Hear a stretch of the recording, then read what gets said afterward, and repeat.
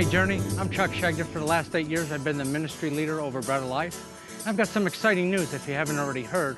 In January, Bread of Life will be changing to Food for Life. Over these years that I've been involved, I have seen changes, miraculous changes in Christ through people, not only through our guests, but through our volunteers. It's a way for Journey to give back to the community that is just amazing. Able to provide uh, needs from uh, the basics of food to encouragement spiritually, uh, clothing on the second Saturday of every month. When we started, we, we were just giving them food and, and fellowship and mentoring. And then it grew into clothing. I guess the biggest blessing to me is when someone comes back um, after they've come in to see us about getting clothes for job interviews and they come back and tell us that they, they actually got a job. I think as a volunteer, I get more out of it um, than what I put into it. I'm just seeing the, the faces of the people that come in and, and how they um, are able to progress every month. It's not just part of you know giving them food, um, although that is a big part of it, um, and just to have people come back and know us and share what they get out of the ministry as well. It's just really amazing. From this ministry, not only do I give, but I also receive back. And it is, like I said, an honor to be able to serve, and it makes me feel good on the inside.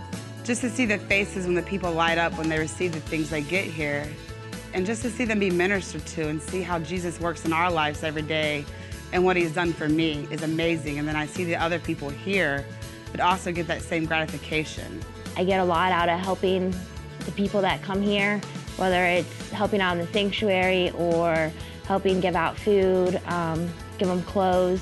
Seeing people walk in with the stress on their face and leaving without it means a lot to me because when they come and they receive the things that they do, they walk out with a different attitude than they walked in with, and it's amazing. I, I just feel so blessed uh, seeing people come to Christ through this ministry, uh, lives changed, and some of that is uh, because they feel like they're at home here.